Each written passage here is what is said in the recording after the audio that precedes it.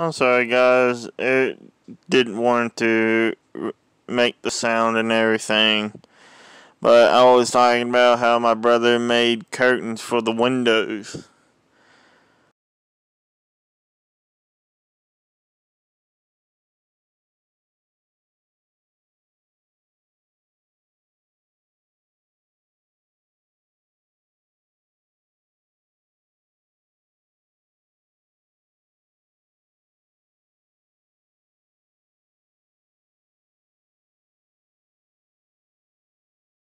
Thank you.